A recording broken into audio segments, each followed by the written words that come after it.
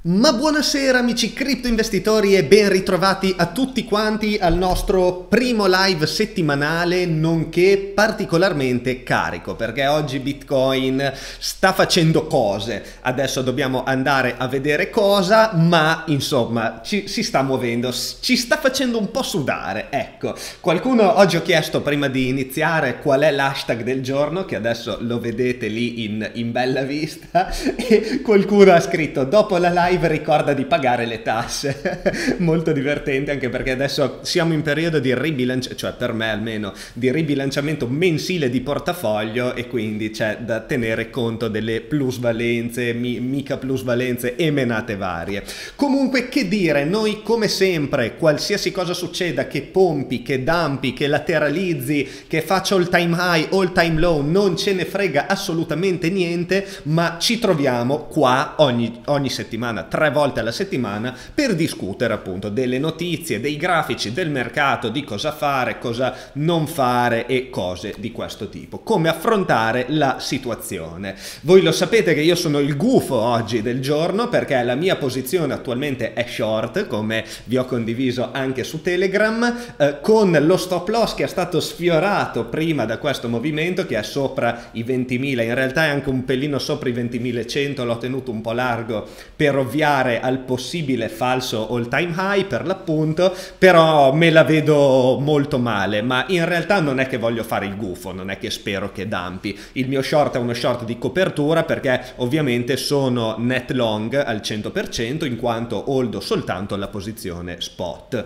Ormai vi, vi aggiorno quasi giornalmente su come com'è la mia posizione, dovreste saperlo, ma questo short non vuole essere ovviamente un'esposizione net short perché non sono sono pazzo, furioso e shortare il top senza nessun tipo di copertura è abbastanza folle. In ogni caso non volevo iniziare subito così in quarta parlando di grafici, posizioni, short e cose del genere perché come al solito un po' alla volta ci addentriamo nell'analisi dei grafici, vi lascio arrivare, vi lascio popolare questa diretta che voglio vedere da record. Eh. Ogni volta che c'è una diretta nuova siete sempre di più, la cosa mi gasa, si airdroppano shitcoin, ormai è una community questa che crea cresce giorno dopo giorno assieme al nostro Bitcoin e la cosa mi piace veramente tanto. Nel frattempo vi incentivo ovviamente come sempre a fare domande, a partecipare perché le vostre domande danno la direzione o la direzionalità che dir si voglia a questo live. Quindi mi raccomando siate partecipi e vediamo come finirà, vediamo se sarà un all time high in diretta o un falso all time high in diretta. Sarà divertente. Nel frattempo vedo che in tanti si stanno iniziando ad abbonare con Prime, non con Prime, non lo so, ma mi gasate comunque, fate arrivare anche Carlos Matos che ogni volta che arriva tra l'altro pompa Bitcoin, non so se ci state facendo caso, continua a salire,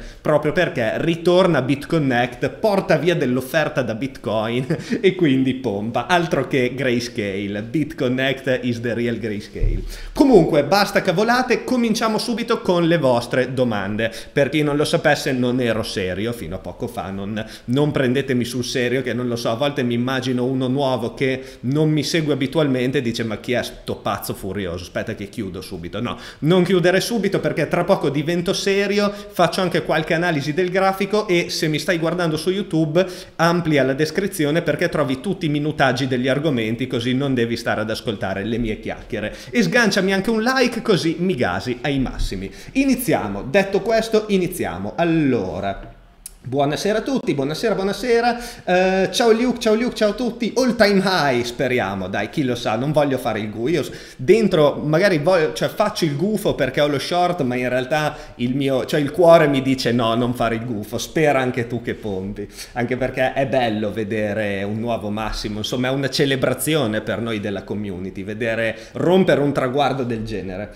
Buonasera, ciao ciao a tutti e ciao grande ancora complimenti per tutto il lavoro che fai. Grazie mille. Sono uscito dalla mia posizione long su BTC a 18.700. Hai qualche suggerimento? Eh, eh, come mai sei uscito? Qual è il motivo? Hai, eh, già non lo so, avevi una strategia, mi auguro, perché purtroppo questo è un periodo in cui, insomma, tante nuove persone si stanno avvicinando a Bitcoin e stanno scoprendo per la prima volta anche che cos'è il trading, co- come funzionano i mercati e cose di questo tipo. E quindi mi capita oggi più che mai di sentirmi chiedere consigli di fatto, ma a me spiace perché poi sembro antipatico, ma io non voglio dare consigli perché innanzitutto non lo posso fare, non posso dare consigli finanziari e tutto quello che pubblico sono sempre mie opinioni finalizzate non a farvela imitare o a darvi segnali, ma solo per confronto ed educational perché capendo l'operatività degli altri secondo me si migliora. In seconda battuta perché ognuno deve costruirsi una strategia, io ho dedicato tantissimo contenuto a questo, non a dare degli spunti da copiare, banalmente entra qui esci lì, che è una cosa che lascia veramente il tempo che trova, ma per far sì che ognuno di voi sia autonomo nel costruirsi una strategia che è un bagaglio pazzesco secondo me.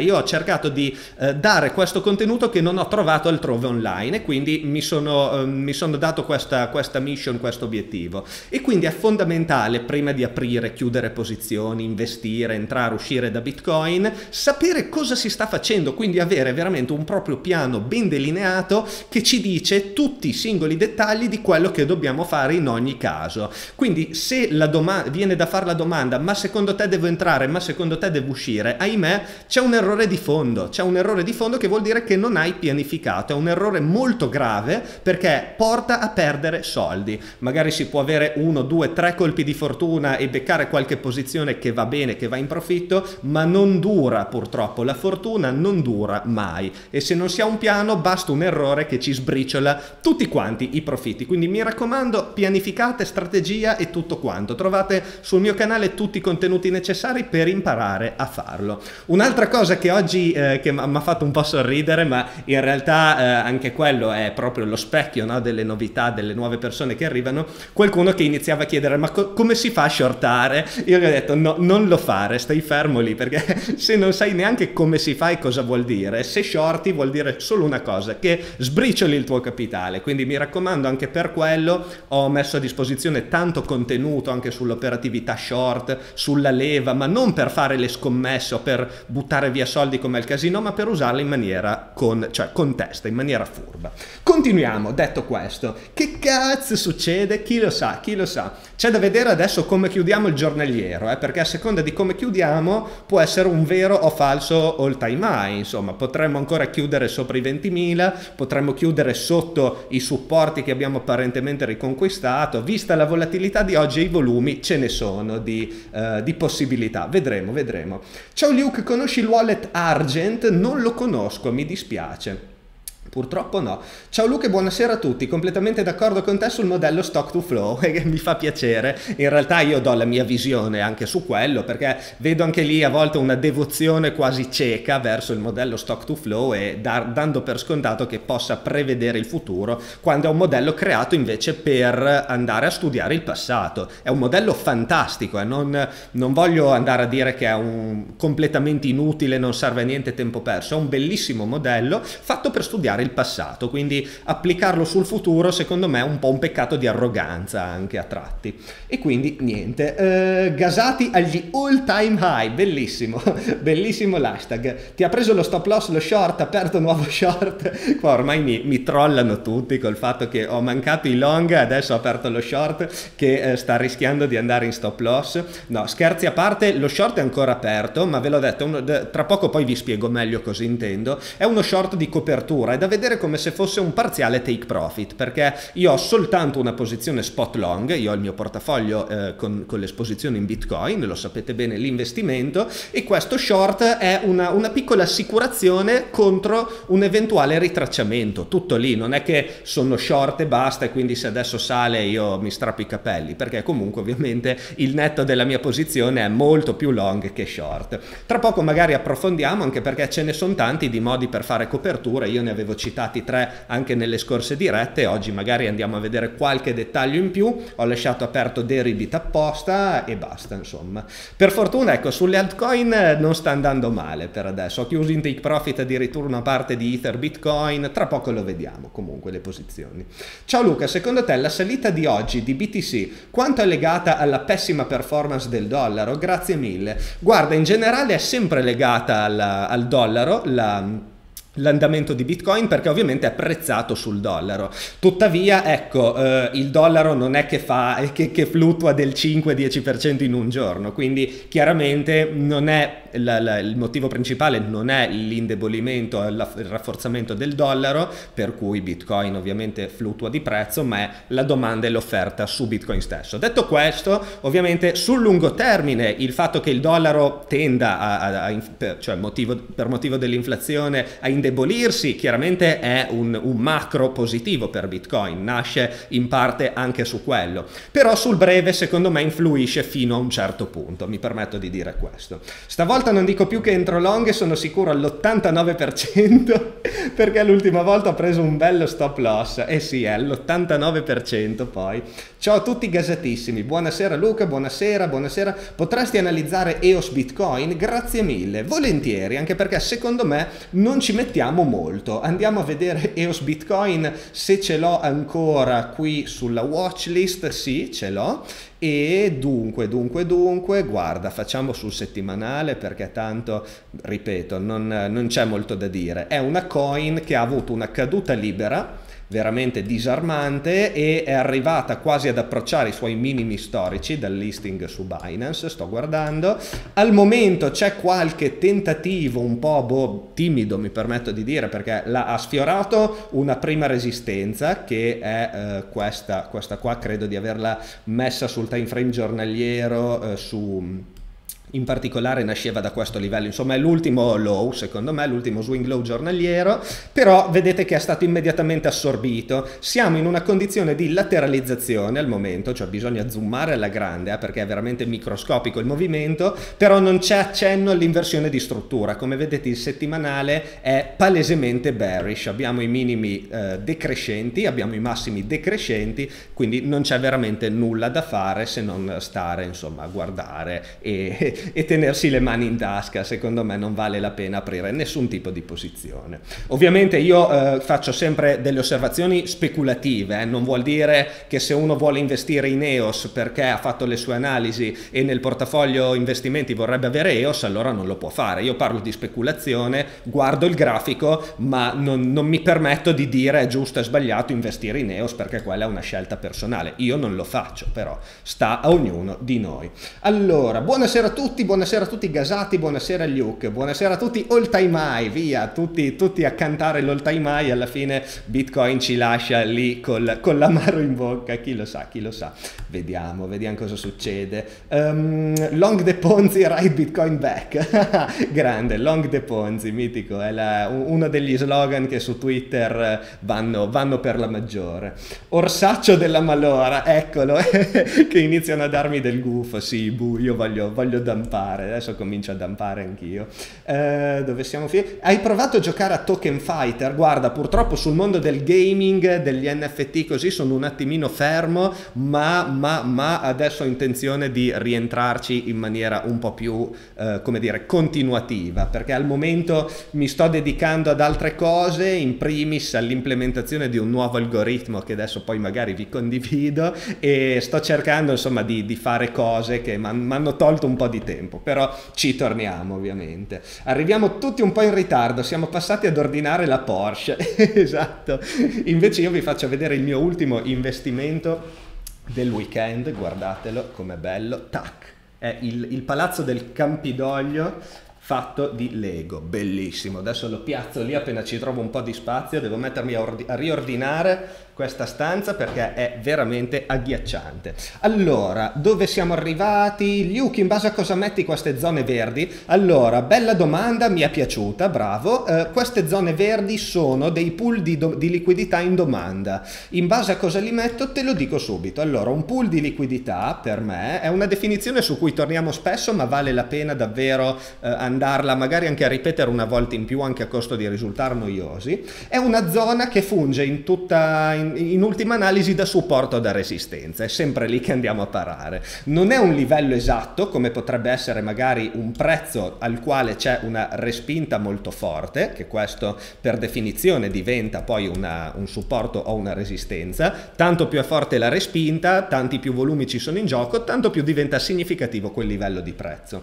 Il pool di liquidità è una cosa un po' simile, permettetemi di dire, perché in sostanza si traduce con, facendovi sempre un disegnino, supponiamo di avere un movimento in atto, ok, di questo tipo e abbiamo multipli, dei, dei tocchi multipli a una, un livello di resistenza. Questo ovviamente diventa un livello di resistenza e questa non è assolutamente una novità. Nel caso in cui magari oltre a questi tocchi multipli eh, dovessimo avere delle shadows che vanno a bucare e eh, temporaneamente perché poi vengono subito respinte facendo dei falsi break, oltre a questo livello se ne crea un altro sopra che potrebbe essere ad esempio quest'altro altro. È un altro livello chiave. L'unione di questi due livelli chiave, che è la zona tra la chiusura della maggior parte delle candele e i tocchi, la maggioranza dei tocchi delle shadows, io lo definisco pool di liquidità, perché sostanzialmente qui dentro c'è molta appunto liquidità. Cosa vuol dire? Vuol dire che abbiamo provato ad attaccarlo, ma è stato subito assorbito, vuol dire che c'era dell'offerta. Di nuovo, ancora, ancora, ancora, una volta che viene rotto il livello, ok? C'è il flip della liquidità, cioè prima c'era offerta, offerta, offerta e quindi ogni volta che entrava in questo pool l'offerta legnava perché voleva difendere le sue posizioni short, questo è lo scopo ultimo. Una volta che tutta la liquidità viene assorbita, quindi l'offerta viene assorbita dagli acquisti, dai buyers, quindi non c'è più la liquidità in offerta ma solitamente flippa a domanda, così come fa una resistenza che diventa supporto. Questo perché? Perché tutti gli short sono stati presi e spesso stoppati, soprattutto se dopo il break, dopo l'assorbimento del pool arriviamo un po' lontano, ci fa capire che comunque buona parte di quelli che hanno shortato qui sono stati stoppati e quindi chi eh, adesso vuole aprire delle posizioni concordi al mercato utilizzerà proprio quest'area dove prima c'era tanta liquidità da una parte e adesso è stata assorbita completamente per aprire posizioni dalla parte opposta, ovvero in questo tipo, in questo senso. E quindi in sostanza si inverte il significato del pool stesso. Spesso e volentieri io li segno sui grafici ancora di più dei livelli singoli di prezzo perché vedo che eh, ci comportiamo molto bene approcciandoli. In particolare, se adesso li andiamo a vedere uno a uno, ne abbiamo uno qua, ad esempio, nato tra queste chiusure e queste shadows. Poi ne abbiamo uno qua eh, nato tra questa chiusura e questa shadow che siamo andati anche a ritestare, vedete, ha scatenato domanda per l'appunto. Poi ne abbiamo uno qua, la logica è sempre la stessa stessa e se ci fate caso spesso è speculare perché fin qua era un pool di offerta, vedete, offerta, offerta, le shadows che vengono assorbite, poi è stato rotto e poi è diventato un pool di domanda. E quindi insomma la logica è un po' questa, per tutti vale la stessa identica cosa, andare a inquadrare un po' la zona tra chiusure e shadows per eh, avere un, un'area nella quale concentrare un'eventuale operatività su quel livello lì. Continuiamo. Um, dunque, dunque, è la prima volta che riesco finalmente a scriverti un messaggio in diretta live, ma grandissimo benvenuto live. Se è il tuo primo live, magari eri un cosiddetto lurker, ovvero tu eri live ma non scrivevi. In ogni caso, spero che ti trovi bene e che tornerai sempre. Ciao Luke, che cos'è uno swing? Bene, mi piace oggi questo angolo, eh, questo glossario sul glossario del trading. Allora, uno swing è definito in questo modo come come un movimento di fatto un impulso direzionale che può essere rialzista o ribassista. Uno swing è costituito da un high e da un low, quindi sostanzialmente questo potrebbe essere un low, questo un movimento e questo un high. Ok, poi questo in realtà è una fase laterale, quindi non c'è un vero e proprio swing low e andiamo avanti, andiamo avanti, andiamo avanti. Questi sono gli swing high e questi sono gli swing low. Qua ecco, la domanda più difficile è ma che cos'è che mi dice che questo è uno swing e non che questo è uno swing e questo è il suo swing low. Allora lì ci sono alcune teorie che dicono che se ci sono tre candele almeno al, nella direzione inversa si ha già uno swing, se c'è un tot di giorni a fila in cui ci muoviamo allora quello è uno swing. Io sinceramente non mi perdo troppo in queste nozioni anche perché poi guardo la, la cioè concretamente il significato che lo swing nella mia operatività deve avere, ovvero andare a prendere lo swing high e lo swing low, perché sostanzialmente spesso sono dei livelli interessanti, importanti per andare a posizionare gli stop. In ogni caso senza farla troppo difficile perché un eccesso di nozionismo lascia un po' il tempo che trova, uno swing è un movimento caratterizzato da un low e da un high, quindi dove tu riesci a vedere che c'è un high e poi un'inversione di movimento, questo è un high e questo è uno swing, ok? Banalissimamente. E allo stesso modo quando poi c'è il movimento a rialzo, quindi hai un higher high, quello prima diventa il vecchio swing low e tu avrai da lì la ricerca del nuovo swing high finché non farai un'altra flessione e si cercherà il nuovo low e così via. E poi ovviamente c'è il momento di inversione di struttura quando da una sequenza di massimi e minimi crescenti, swing low e swing high crescenti, tu inverti appunto la struttura e per la prima volta fai un minimo più basso. E allora da lì c'è il discorso appunto di inversione di struttura ma non cambia la definizione di swing. Insomma spero di essere stato chiaro e soprattutto non troppo prolisso perché si potrebbe parlarne per ore ma non avrebbe neanche troppo senso insomma. Allora missato per poco l'all time high in diretta infatti qualcuno di voi mi ha scritto mi ha detto dai anticipa il, il live porta avanti le, le lancette anticipa il live di un paio d'ore che così ti becchi l'all time high in diretta, che poi in realtà c'è stato, sì, forse sì, perché io ho visto che sugli exchange spot, io seguo ad esempio Bitstamp, mi pare che di fatto sia un all time high, perché il vecchio all time high era 19.008, vedete? Quindi abbiamo un sensibile all time high. Tuttavia, insomma, fino alla chiusura della candela, non so, dite che vale la pena festeggiare già, perché io ho portato, ho lo champagne qua, eh, da, da stappare, guardate, eh, una bottiglia d'acqua, si festeggia pesantemente oggi eh, nel, caso, nel, caso, in cui partiamo, però non lo so, se c'è chi tiene 20.000 come riferimento, sui perpetual era arrivato a 20.000, io infatti guardavo sempre lì, ci ho sempre aperto questo grafico qua che, per il quale è 20.000 il, il riferimento.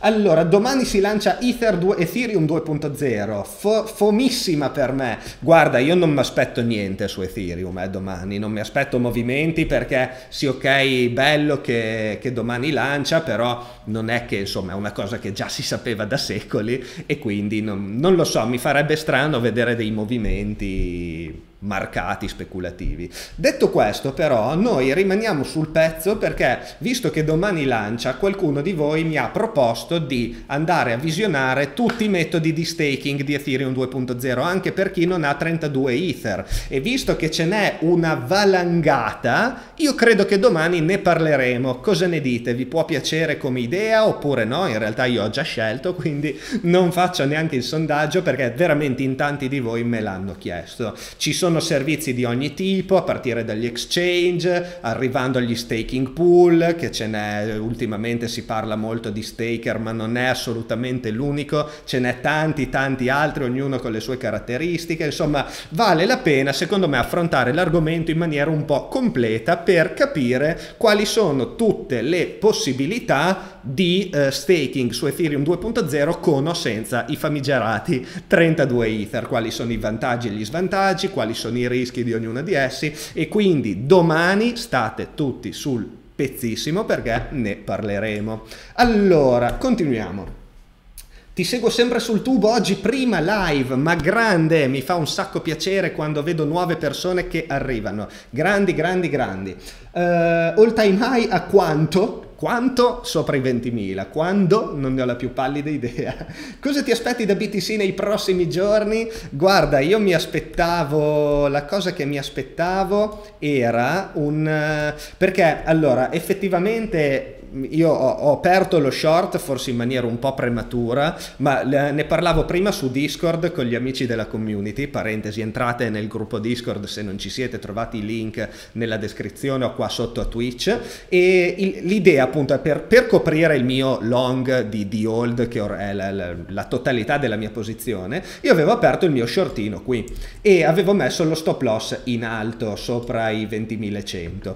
In sostanza quello che mi aspettavo era sicuramente sicuramente un altro, cioè sicuramente con buona probabilità un altro attacco alla zona dei massimi, che poi mi direte sì, va, col senno di poi è facile, effettivamente non si può mai sapere prima, però tra le varie ipotesi, quando c'è un livello ovvio, quando c'è uno scenario ovvio, di solito um, il mercato fa di tutto per andare a fregare chi ha seguito lo scenario ovvio, perché ci fa sentire tutti furbi, no? Quando c'era il, il dump così, allora si saranno aperti un sacco di short perché devi shortare vicino al top, tu hai lo stop loss bello, bello telefonato subito sopra i massimi e hai un, un rischio rendimento teoricamente pazzesco, certo, troppo bello per essere vero. Allora il mercato cosa fa? Torna su, ti prende lo stop loss e poi ridampa. Questo è uno di quegli scenari che sinceramente mi aspettavo con discreta pro- possibilità, probabilità. Per affrontare uno scenario del genere ovviamente un, un metodo è reiterare poi gli short perché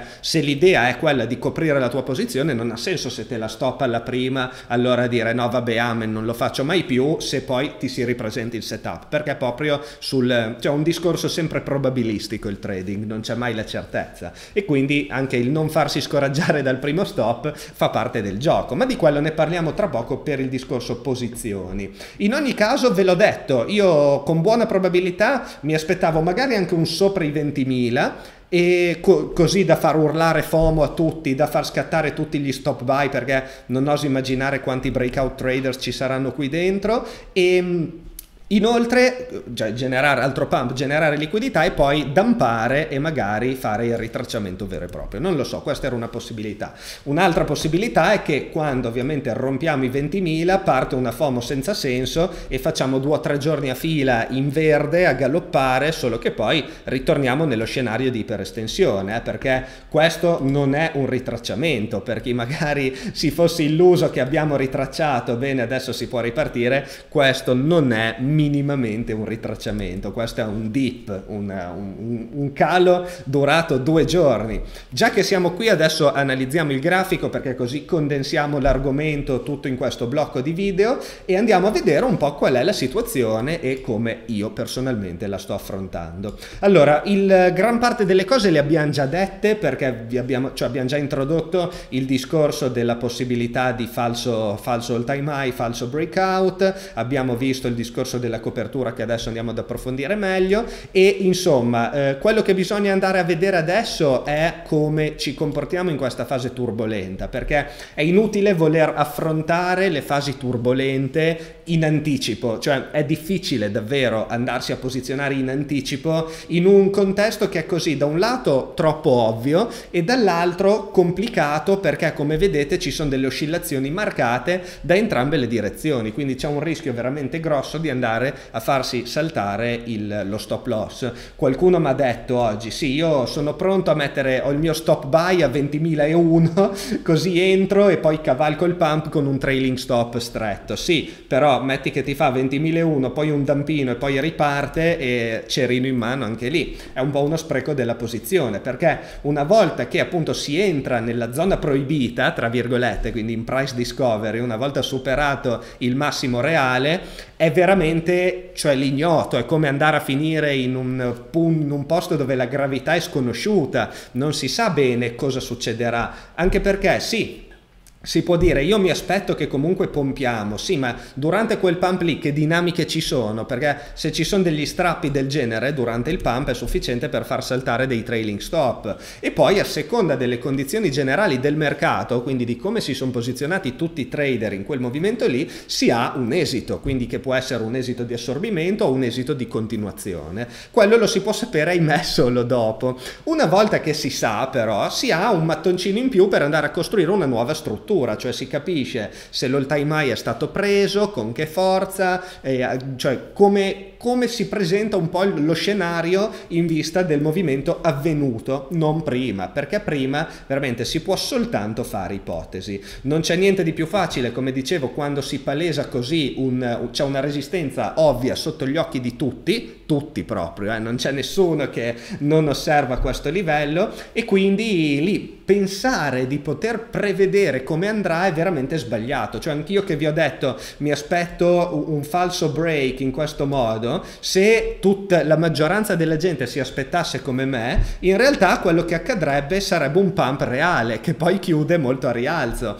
Eh, il discorso è sempre quello, il mercato tende sempre a fare male a più persone possibile, questo è quello che l'esperienza mi, mi, sta dicendo. Quindi fondamentalmente quello che io sto seguendo, al di là del discorso degli short da reiterare, perché ho intenzione di coprire parte della mia posizione non appena si palesa un potenziale setup short, come era ad esempio questo, perché di fatto avevamo un massimo, un massimo un po' più alto, poco più alto, però questa differenza era poca, questo è il primo segno di arrancamento del trend. E poi c'è stato un sell off, uno scarico con chiusura tra l'altro qua sotto. E anche il giorno seguente c'è stato follow up cioè indifferente ma non comunque di assorbimento. E quindi ho detto boh inizia un po' la fase di sell off c'è un potenziale setup short. E quindi lo sfrutto in sostanza tutti cioè i supporti persi diventano dei potenziali entry short. Io ho scelto di entrare eh, con, con la mia posizione short completamente su questo ma si poteva tranquillamente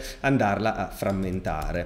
E quindi questo era un possibile setup. Lo stop loss dove lo mettiamo? Ecco qui c'è veramente la domanda più difficile. Per perché mettere lo stop loss stretto sopra il precedente swing high, e qui torniamo alla definizione di swing, questo è lo swing high, e cosa, cioè, lo, lo, mette veramente in pasto agli squali che sono sul mercato, perché cioè, questo livello è sotto gli occhi di tutti assieme a tutto questo pool di offerta dell'all time high, perché questo che vedete in rosso, se noi prendiamo il settimanale, vedete è un pool di offerta, sempre definizione data prima, tra la chiusura e la shadow, dei livelli storici. E quindi sono veramente dei livelli di prezzo sotto gli occhi di tutti, trader sul giornaliero, intraday sul settimanale, tutti quanti quanti hanno gli occhi puntati lì. Quindi andare a mettere uno stop loss appiccicato vuol dire rischiare enormemente di farselo saltare a costo di un rischio rendimento migliore. Ne vale la pena? Non ne vale la pena? Io personalmente preferisco andare a penalizzare sensibilmente il rischio rendimento a, al prezzo, cioè a, col vantaggio però di avere uno stop non troppo stretto e quindi anche nel caso in cui dovessimo dare una testata e scavare un po' per prendere liquidità non per forza ti deve saltare. Poi ovviamente se parte un pump di quelli disumani ti salta comunque e lì amen. Sono cose che possono succedere. Shortare vicino a un top o shortare vicino a un livello importante è, eh, cioè, comporta questi rischi e lo devi sapere. Non devi presumere che accadrà come hai detto tu. Detto questo, supponendo che adesso mi salta lo stop loss e poi ritorniamo giù, Qualora ci fosse un altro setup short, ripeto, ad esempio la riperdita di questo livello, quindi un assorbimento del breakout innanzitutto e una riperdita ad esempio di questo livello, andrei di nuovo a shortarlo. Perché? Perché comunque eh, sarebbe il medesimo setup nella fotografia che mi sono fatto all'inizio, finalizzato sempre a coprire la mia posizione long, perché ripeto, io sono net long, io possiedo Bitcoin nel mio portafoglio investimenti, non ho nessun un'altra posizione speculativa aperta su Bitcoin, shortare in questa situazione equivale a dire io eh, mi, cioè, uso una piccola parte dei miei Bitcoin come piccola copertura assicurativa che eh, da utilizzare in modo che se il prezzo dovesse iniziare a scendere mi ammortizza la perdita che altrimenti sarebbe una perdita elevata proprio perché io ho il mio holding Bitcoin che è la totalità della mia posizione. Al contrario se Bitcoin dovesse pompare chiaramente lo short short viene stoppato e basta, ho una perdita realizzata lì, però nel mentre il controvalore mia, del mio eh, portafoglio investimenti va aumentando. Questo poi si va a integrare col discorso del ribilanciamento e quindi deve rispondere tutto ai calcoli che uno ha in testa, ovvero il come gestire il proprio portafoglio. Però non è semplicemente un dire io penso che adesso crolla, allora apro lo short, non è così semplice, così banale. Quindi adesso il bullish eh, scenario ovviamente è quello di riconquista di questo livello, quindi di chiusura qua sopra ed eventualmente di follow up a questo punto aspettando l'all time high effettivo. All'all time high sarebbe bello vedere delle candele piene, come può essere ad esempio questa, che chiudono con chiarezza lo, sopra l'all time high stesso, in modo da dire l'abbiamo preso, l'abbiamo riconquistato. Quindi no a candele tipo una shadow così e, e la chiusura qua sotto, che sarebbe veramente una cosa non dico apocalittica ma quasi, no alle candele del tipo abbiamo una shadow lunghissima e una chiusura subito qua che sarebbe meno peggio della precedente ma paleserebbe comunque per la maggior parte offerta perché la shadow è offerta di fatto, cioè la domanda spazza via l'order book, l'offerta vende, assorbe l'impulso e arriviamo a una posizione che non è bellissima perché andiamo a mettere un eye fortemente puntiforme.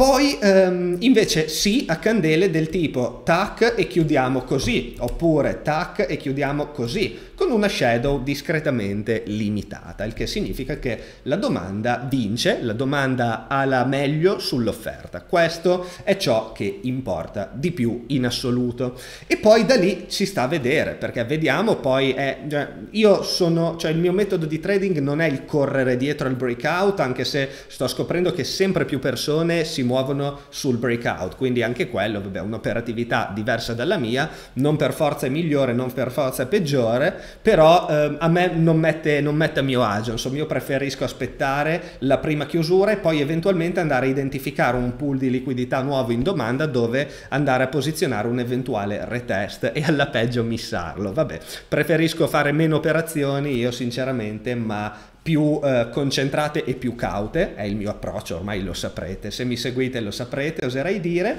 e quindi quello è il, lo step successivo del caso bullish. Nel caso di breakout io osservo la chiusura innanzitutto, il follow up del giorno dopo e poi si inizia ad andare a individuare delle potenziali aree di ingresso, con l'attenzione che siamo in una situazione estremamente estesa, quindi il, la cosa che farei io è quella di seguire sì speculativamente, ma comunque avendo sempre chiaro un take profit, quindi non credo che andrei ad aprire delle posizioni particolarmente ehm, di, lungo, di medio-lungo periodo sull'ambito speculativo. Il take profit ovviamente in price discovery non esiste per definizione perché è, insomma non, non ci sono altre resistenze, si potrebbe utilizzare ad esempio Fibonacci, so che qualcuno lo fa e me l'avete anche suggerito la scorsa volta, tant'è che abbiamo anche fatto delle prove facendo il ritracciamento al contrario, addirittura partendo dalla parte, dal minimo del, ehm, anche della zona di, di, lateralizzazione prima del breakout che individuerebbe un target di 26.200 o altrimenti spostando questo Fibonacci al breakout stesso individuerebbe un target di 25.800 c'è poca differenza però più o meno la zona è quella lì il nostro Fibonacci dice poi invece per quanto riguarda eh, lo scenario bearish, vabbè poi ovviamente in caso di breakout e di all time high sull'intraday ci si può sbizzarrire con l'operatività long per chi ovviamente opera sull'intraday perché mi aspetto che ci saranno volumi galoppanti e ci sarà da divertirsi anche su quello. Lo scenario bearish al contrario è di nuovo la perdita di questo livello, eh, di questo pool di liquidità qua. Questo qui per me non è sufficiente da, da, definire uno scenario bearish, perché comunque, come avete visto, è un pool di liquidità piccolo, non particolarmente significativo. Potremmo dire che ne è addirittura nato un altro qua sopra e si può anche includere poi questo da domani in poi e anche questo, vedere chiudere la candela sotto di esso, quindi di fatto sarebbe un falso un falso nuovo massimo perché se chiudiamo qua sotto il, il, il, nuovo massimo è annullato, non è fatto, c'è la chiusura sottostante e però ripeto non è sufficiente per definire un caso bearish. La perdita di questo per quanto mi riguarda neanche, la perdita di questo pool quindi un ritorno da queste parti invece sì e quindi ci sta poi l'eventualità di ricerca dello short di nuovo in questa zona. Questo anche se succede dopo al break, anzi se succede dopo il break è ancora più significativo perché andremo a creare una nuova area di, di domanda, scusate, che se poi andiamo di nuovo a perdere creiamo un, un altro falso break e quindi un altro costrutto potenzialmente di top di breve. È tutto da vedere, adesso non si può fare troppi progetti, troppi piani e bisogna capire come ci si vuole posizionare Per dirvi un altro tipo di operatività che, che ho sentito oggi parlando con amici della community, qualcuno ha, già in mente di longare il retest su questo livello di, di prezzo qui qualora ci sia, per anticipare addirittura il breakout. È un'operatività che io gliel'ho detto, gli ho detto, caspita, io, io non lo farei mai, ma rispetto ovviamente la tua operatività perché magari poi hai ragione, anzi ti auguro di avere ragione, però io operare sotto una resistenza così forte come il massimo storico me la sentirei, però lui giustamente mi fa sì sì lo so, sono consapevole del rischio, infatti ho il mio stop loss poi qua sotto e la posizione è, è proprio, tende quasi al gambling, mi ha detto,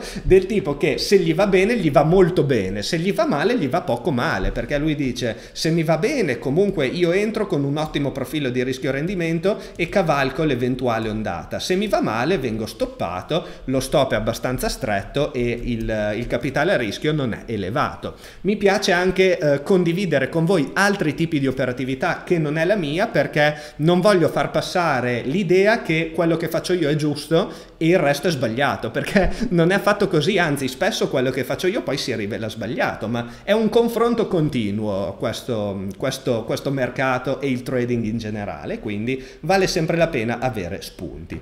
Invece Andiamo a vedere un po' di altcoins, poi se avete domande ovviamente vi leggo anche su Bitcoin, su approfondimenti eccetera. Andiamo a vedere Ethereum che come sapete avevo fatto compounding della posizione andando ad aprire un altro long più speculativo con questa configurazione qui, quindi era un entry al, sul punto medio di questo pool di liquidità in domanda, di nuovo torniamo al concetto di pool di liquidità dal quale ultimamente sono ossessionato e take profit su questo livello di prezzo qui 0 0.0318, ve l'avevo condiviso step by step su Telegram e questo livello di prezzo altro non è che un livello chiave su time frame settimanale, nasce qui, qui non c'è il pool come vedete perché è un livello puntiforme, c'è una respinta forte puntiforme e genera un livello di resistenza chiave.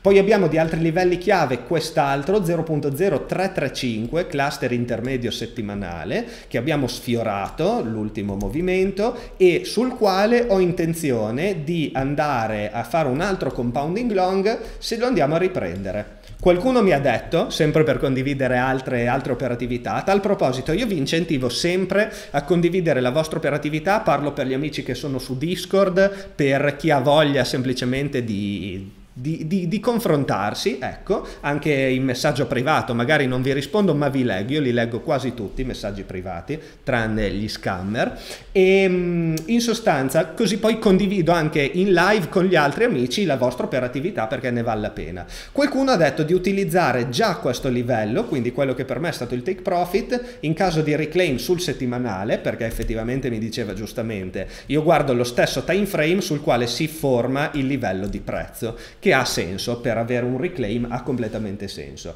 Quindi in caso di chiusura magari qua sopra ci sta andare a cercare di nuovo il long con entry sul livello stesso e take profit su questo cluster intermedio. È un'operatività assolutamente sensata. Io preferisco aspettare qua su perché da un lato ho una maggior direzionalità, diciamo, andiamo a riprenderci anche questa shadow, diamo più conferme a movimento e in seconda battuta io ricordo che ho già un'operazione long aperta che è quella che avevo un entry in questa area qua e stop loss sotto a questo livello e mm, di cui in parte ho fatto take profit parziale di nuovo sempre qua per escludere il rischio. Quindi quella parte di posizione lì in sostanza adesso è risk free. Se mi va in stop loss non ci perdo più vado in break even e la lascio correre trend follower. Quindi ho già un'esposizione long speculativa su Ethereum oltre allo spot long di holding. Quindi bisogna inquadrare sempre anche la posizione in toto. E basta, su Ethereum non avrei altro da dire se non lo scenario bearish che è eventualmente inizialmente la perdita di questa zona che si è formato un bel pool di liquidità qua anzi ha confermato il pool già esistente e in seconda battuta ovviamente l'andare a fare nuovi minimi che ahimè sarebbe un brutto scenario per Ethereum. Vediamo domani se davvero c'è qualche movimento speculativo dopo il 2.0 ma non mi aspetto granché poi Yearn, Yearn Finance è l'altra posizione che ho aperta, adesso nel frattempo Bitcoin sta pompando, non lo so, lo andiamo a rivedere. L'ho aperta e è ancora aperta perché c'è lo stop loss largo, il take profit largo, è una posizione con ampio respiro. Lo stop loss è sotto questo swing low, il take profit è qua su al livello di prezzo definito da questo piccolo spike. È aperta, è spot, senza leva, senza niente di che, un semplicemente un buy su Binance di Your Finance con lo stop loss lì sotto e il take profit là sopra, niente di particolarmente esote, esotico. Bene, benissimo, quindi non abbiamo altro da dire sulle altcoin, oserei dire. No, eh, andiamo a rivedere BTC cosa ci combina e ripasso la parola a voi, cosa ne dite? Allora, vediamo un po', vediamo un po', vediamo un po'.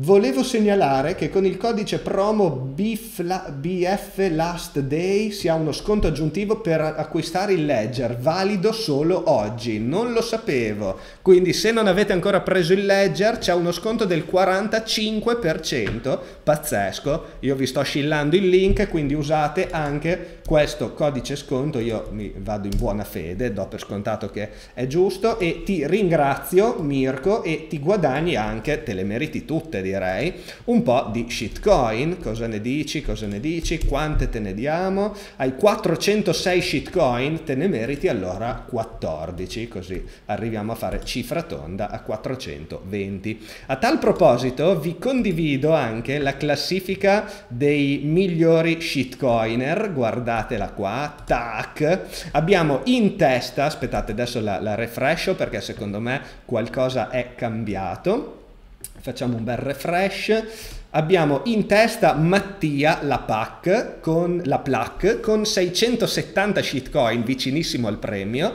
Poi abbiamo Z Greg con 541 e Mazzego con 492. Sono il nostro podio. A 1000, ricordo, c'è il premio 0.006 BTC. Mi raccomando, continuate a spingere. Andiamo avanti. Uh, ciao Luca, seguo sempre in differita sul tubo. Oggi prima live in diretta, ma grandissimo, grandissimo continua così, spero di rivederti. Gasati agli all time high, grandi, mitici. Ci manca solo che Litecoin faccia un più 30. Sì, ormai lì è, è delirio. È delirio. Uh, condivido con voi un semplice pensiero. Ottimo. Molte persone parlano del libro di Kiyosaki e di quanto quella lettura possa portare ad un'illuminazione su come trattare l'economia. Io però non farei quello che Kiyosaki dice, ma quello che Kiyosaki fa. La chiave qui è il libro stesso, la sua fortuna è la sua creatività, il suo investimento sono le sue idee, per esempio creare entrate dal proprio libro. Abbiate dunque idee ed investite su di esse, Luca è un esempio perfetto.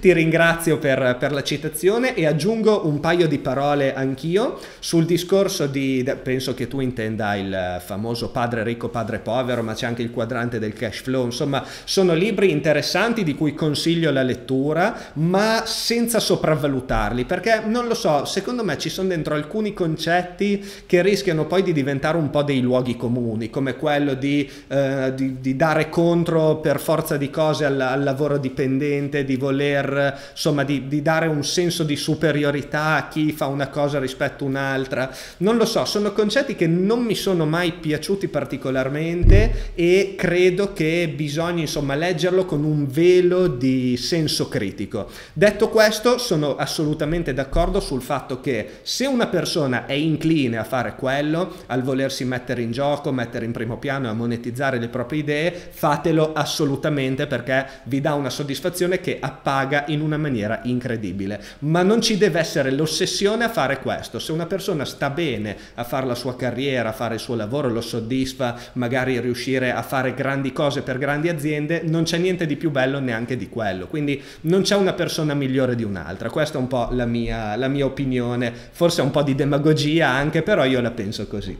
Um, Ciao Lucas, ho già PaxG in portafoglio, ha senso investire nei metalli su Bitpanda? Ma guarda, io ti dico, lì ha senso se eh, vuoi uscire dall'oro, perché per l'oro, per quanto mi riguarda, non c'è niente di meglio di Pax Gold, per quanto a commissioni, a gestione, a liquidità e tutto quanto, perché su Bitpanda ci sono delle commissioni anche talvolta abbastanza rilevanti, quindi bisogna fare un po' i conti su quello. Ovviamente sul discorso del palladio, sul discorso del platino, potrebbe essere più interessante perché, eh, che dire, è difficile trovare un, un, prodotto simile, però bisogna sempre fare i propri conti con le quantità, con il capitale che ci si vuole mettere e così via.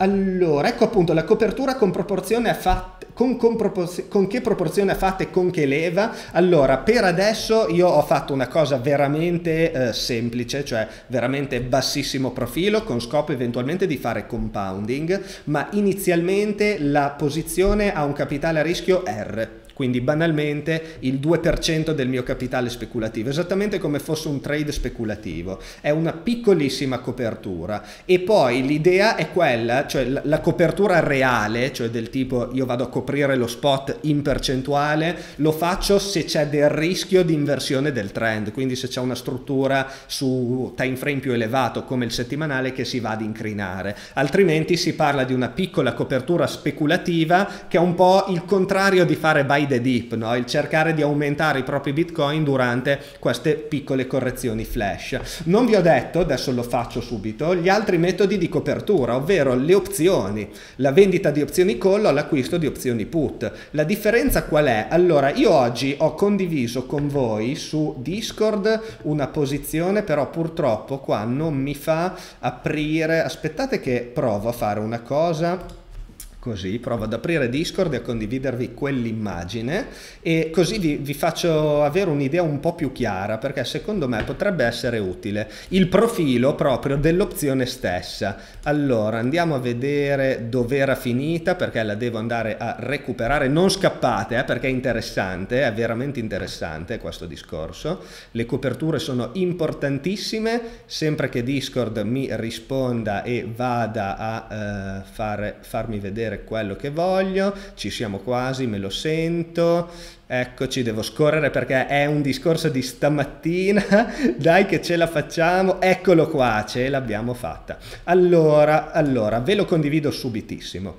così avete un'idea più chiara anche voi. Tac, vediamo se vi fa vedere la finestra, scusate eh, però tutto così in diretta Eccoci qua, ce l'abbiamo fatta. Allora, questo è il profilo di stamattina di profitto e perdita, l'ho preso da Deribit, è il simulatore di posizioni, pb.deribit.com e sostanzialmente questa curva vi dice a scadenza dell'opzione, ho preso un'opzione del 25 dicembre che scade a Natale, quanto vale la vostra posizione. Allora, stamattina era 18.495, spero che stiate vedendo tutti, immagino di sì, sì, e in sostanza questa curva come mai è così? Allora ho preso come campione una posizione che ha un future long, quindi un bitcoin, un bitcoin spot, più due call, due opzioni call vendute con strike price 18.000 e scadenza 25 dicembre. Le opzioni call vendute vuol dire che io incasso subito il premio dell'opzione stessa,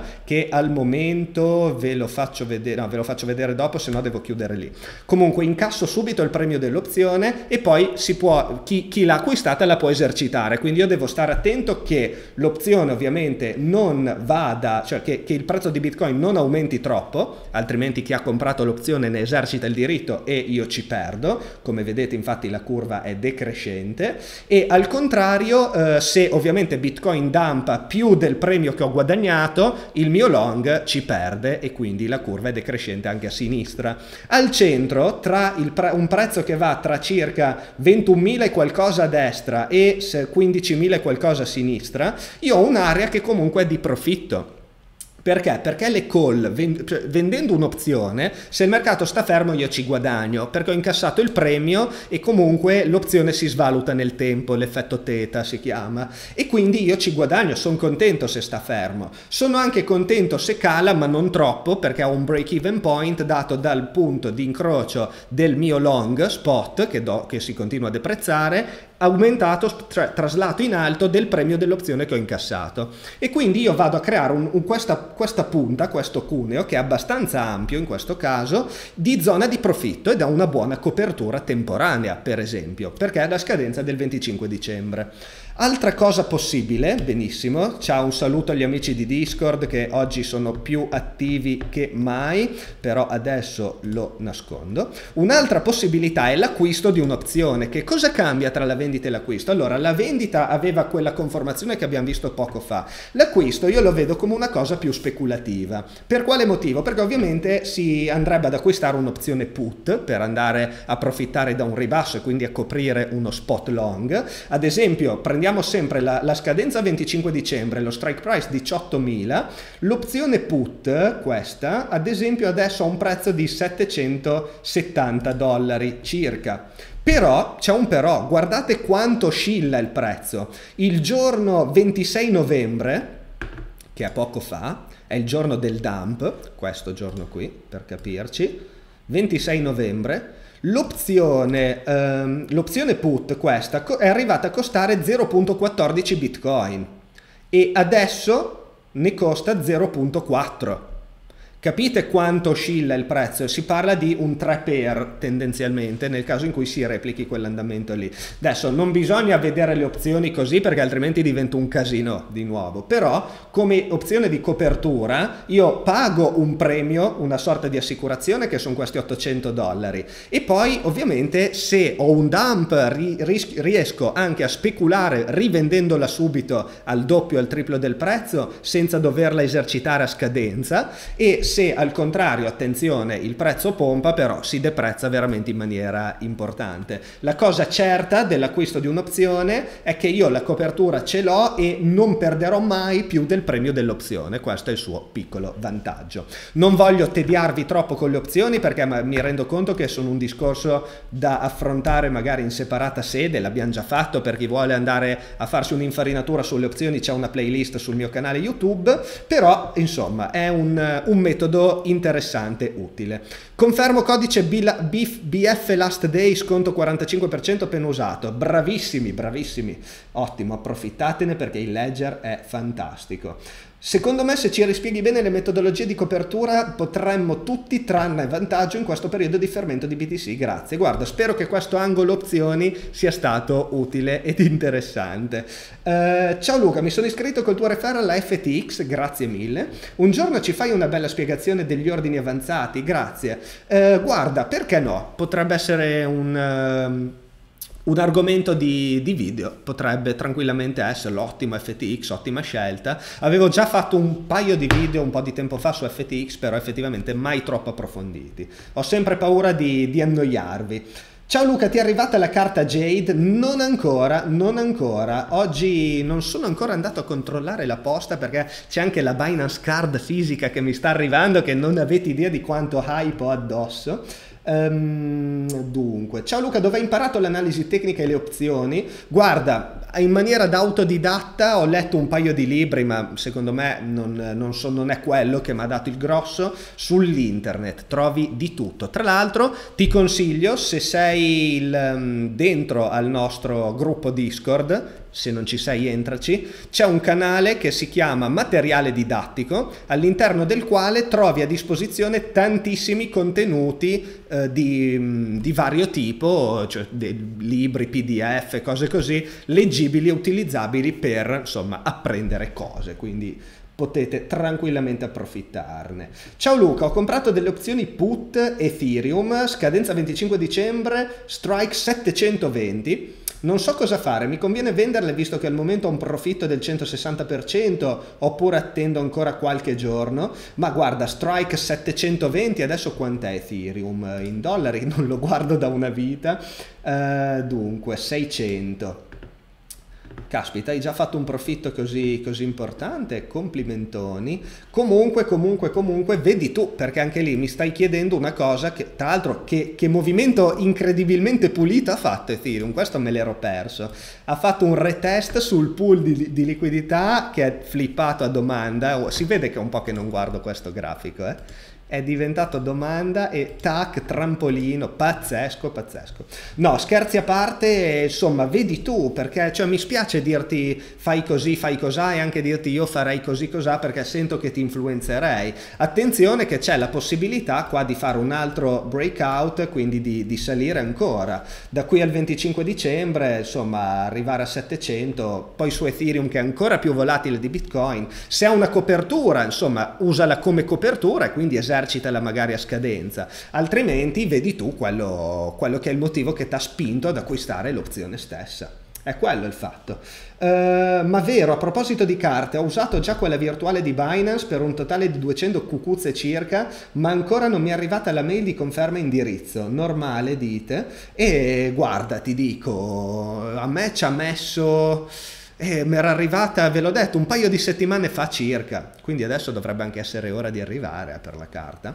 Però dipende, perché io ero tra i primi, secondo me, ad aver, cioè quando è arrivata la possibilità, io subito avevo fatto la spesa, ma più che altro per fare il video per mostrarvela, vi ricordate, tempo fa.